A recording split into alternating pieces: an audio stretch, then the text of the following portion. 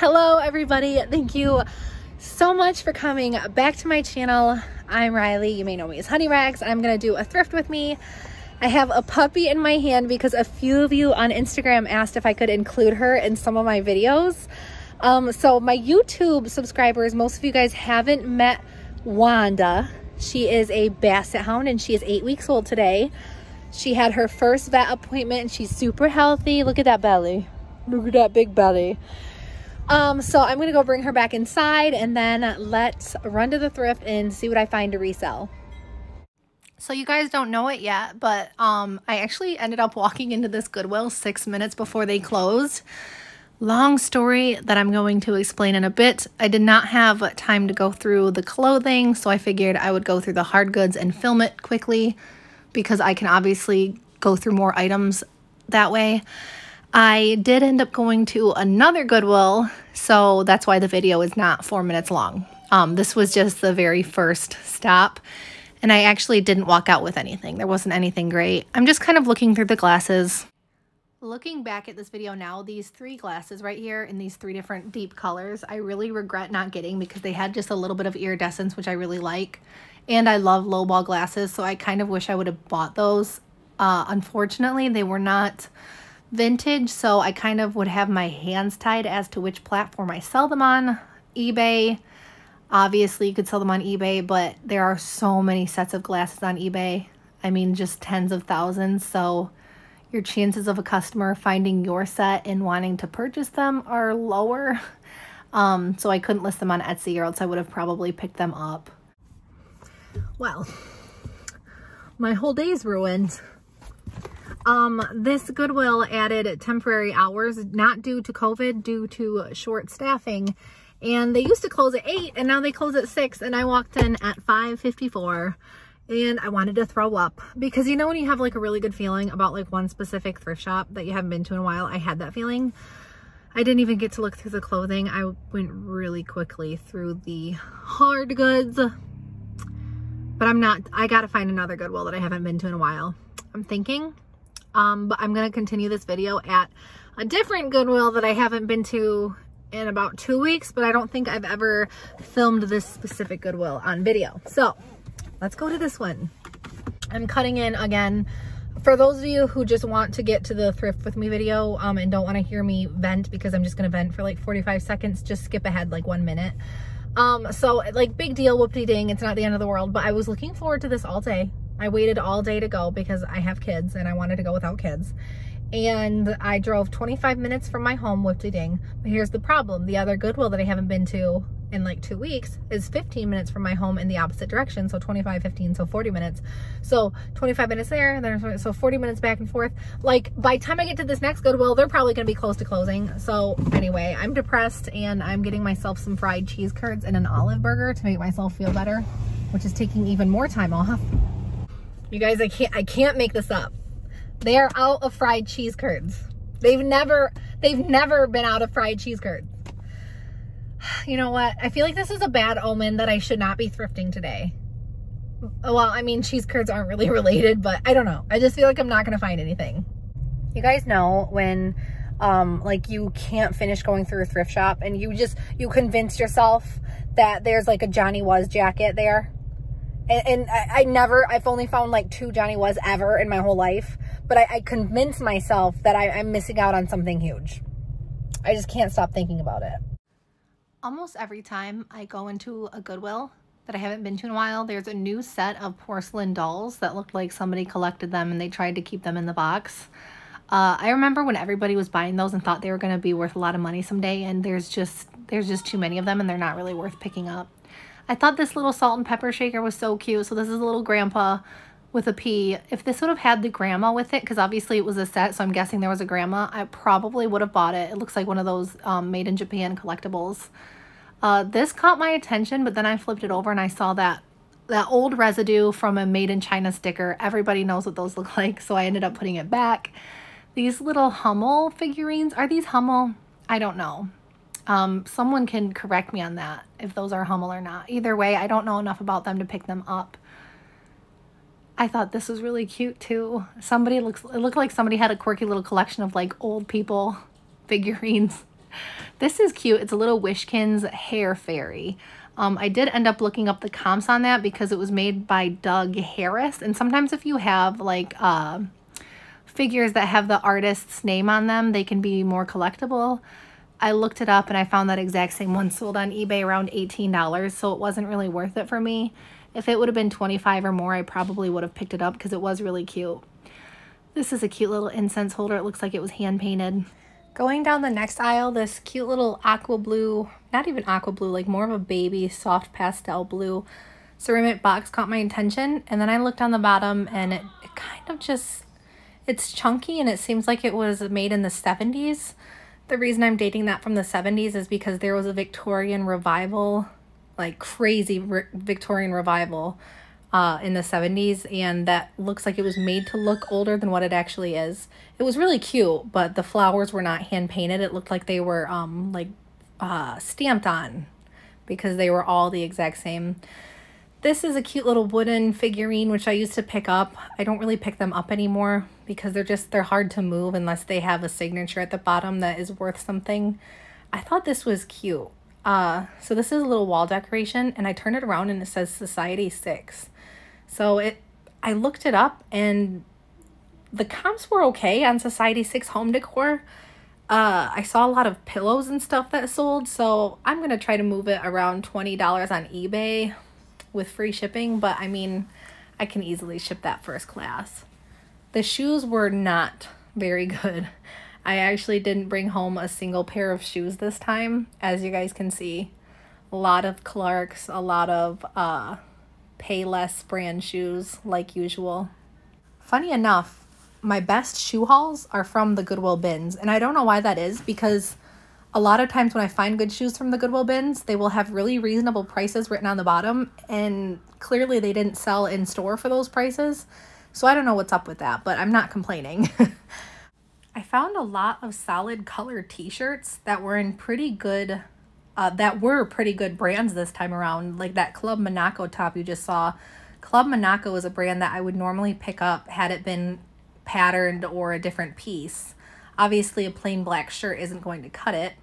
Uh, just like this logo by Lori Goldstein piece, it was just a little bit too plain. Uh, if that would have been like a heavier sweater or if that would have been just a, the tunic tank top that it was, but I would have found it at the bins, I would have probably picked it up because it is one of my uh, bread and butter brands that I rely on for consistency. So this is a Reformation blouse. This is my first time finding Reformation and it was just a plain black top. So it hurt to leave behind, but there's there's just not much I could get out of that. You can walk into Old Navy and get a plain black shirt in the same, you know, material for like $6. So I just couldn't bring that one home with me. I did take a gamble and I ended up bringing home this first uh, buy junk food piece. I like the lightning bolts. It reminds me of like ACDC uh, Thunderstruck. This is another junk food piece. This is junk food for Target, I think. I did end up leaving that one behind. Junk food is a brand, and this one was new with tags too. Uh, junk food is a brand that five years ago, when I first started reselling, I used to get excited to find certain pieces that were, I guess, rare or harder to find could bring in some good money, but it's just gone down in value so much. It's really not worth picking up most of the time. Here's what I have in my cart so far that I did not get on film. Uh, that Athleta tie-dye dress, that's a newer label Athleta. I probably can move that around $24. This Torrid dress I really like. I find a lot of Torrid don't usually don't pick it up, but that piece was really nice. 24 of 52 conversations. This is an Anthropologie brand that I have never found before. It is silk, and you guys know I like selling brands, especially Anthropologie brands that I've never sold before. So I haven't looked up comps, which was kind of a gamble, but I'm guessing around 20 to 24. This is Soft Joie. So I always say in my head when I'm reading the tag, Soft Joie, but it's Joie. It's just a plain black cotton blazer probably move it around 20 to $22 on Poshmark. Um, a little bit of an older label pair of Athleta pants, but those still sell around $20 for me on Poshmark. This is a cute little Holding Horses dress. Uh, Holding Horses is another brand that it's kind of lost some of its resale value, but I still pick it up sometimes. This is a Toad & Co dress, formerly known as Horny Toad. It's more of a compression fit, so I think I'll be able to get about, about $25 for it. This is a 1980s bright green Oscar de la Renta dress with the shoulder pads. Honestly, probably going to cut out the shoulder pads. I know some people have mixed feelings about that, but I usually cut out the shoulder pads, I'm not going to lie. This was a cute wool hat that didn't have a brand name, but I really like the music note cutout, so I'm going to try to move that on Poshmark around 20. Skunk Funk, this is a really good brand to pick up. Definitely depending on the piece like always, but Skunk Funk sells for me between 20 and $30 depending on the piece. These are a pair of Nua tags, Matilda Jane pants with, I wouldn't have picked these up had it not been for the embroidery down this one leg that I really like. I do want to look up the style on these, but I'm guessing between 20 and $26 because they're new. Uh, this is a pair of nice pattern Prana pants, probably around 20 bucks because they're not anything special. YFB. This is Young, Fabulous, and Broke, which I didn't know until I actually, I had to look these up because they seemed nice. And I was like, what's this brand? Young, Fabulous, and Broke, which is a good brand to pick up. Tory Burch Jeans, M-O-I. Have no idea what that means. Maybe it's a collaboration. Either way, always pick up Tory Burch. I was excited to find those. Going back through the clothing for my second round, uh, you know, and this is an LOLE piece, which I also pick up sometimes, but that one was a little bit too plain for my liking. Um, Club Monaco silk and sequin top, definitely a good find.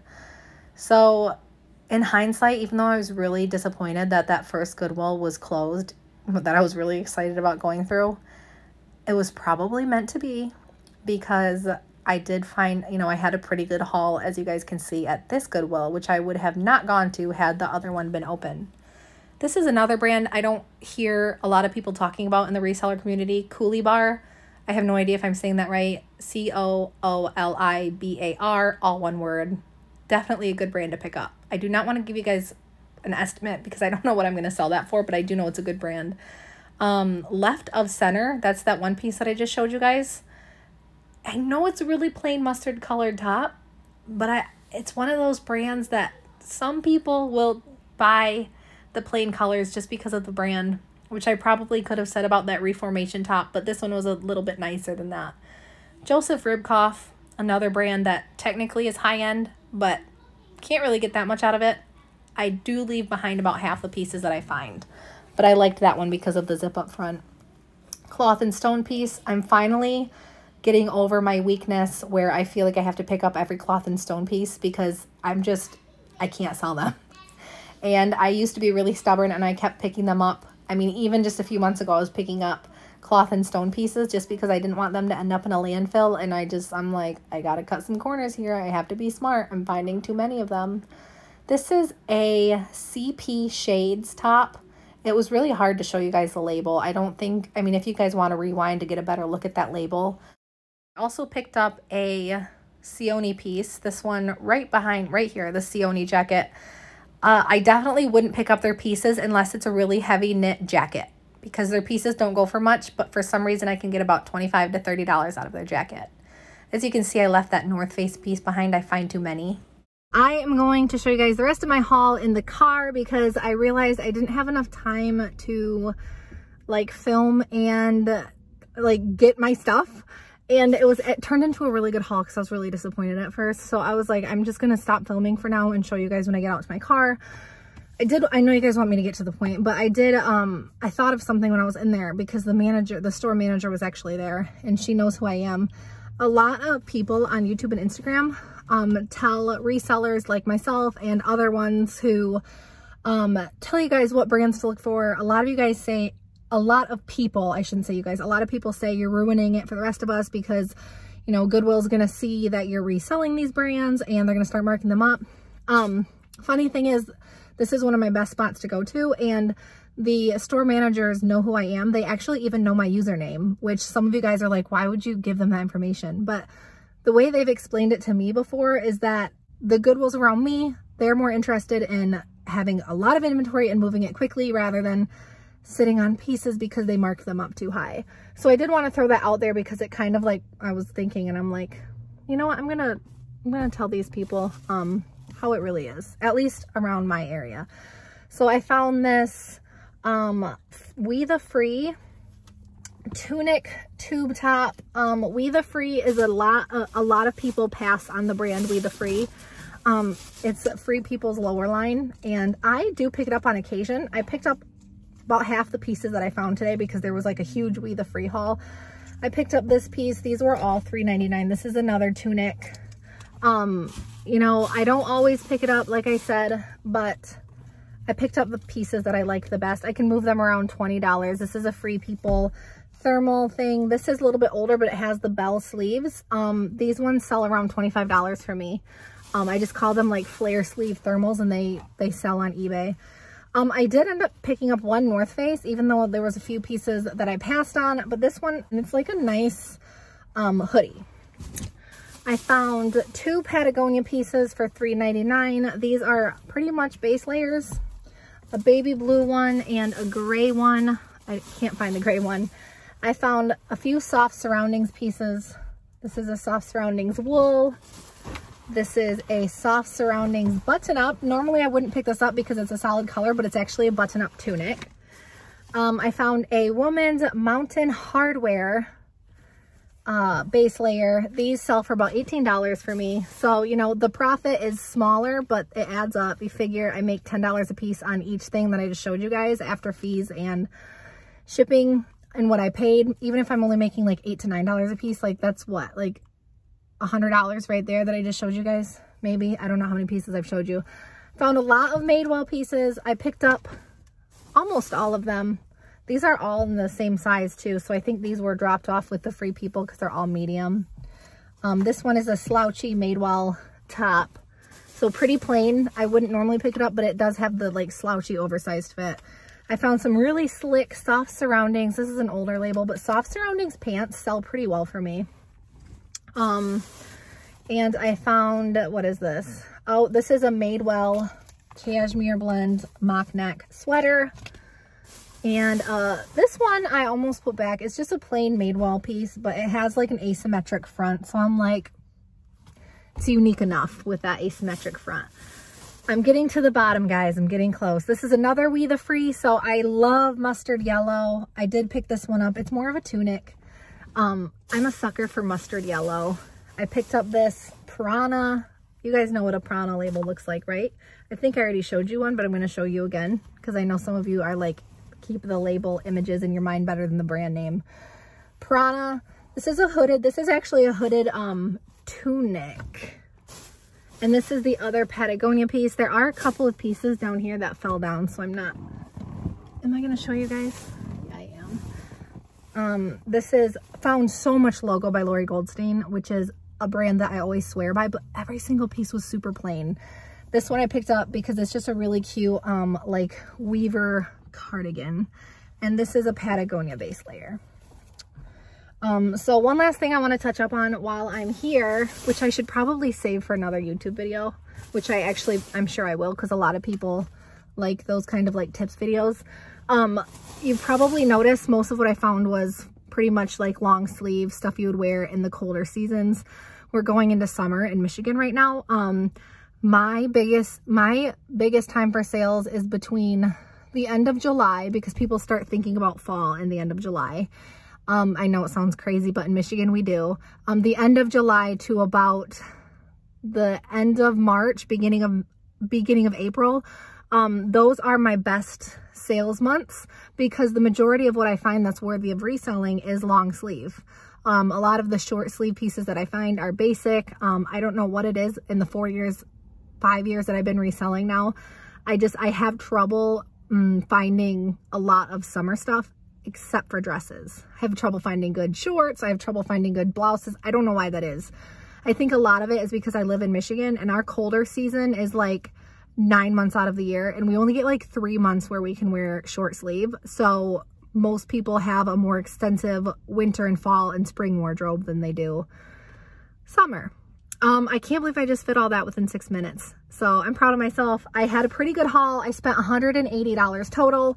Um, I have a like two huge garbage bag size, garbage bags, full size bags.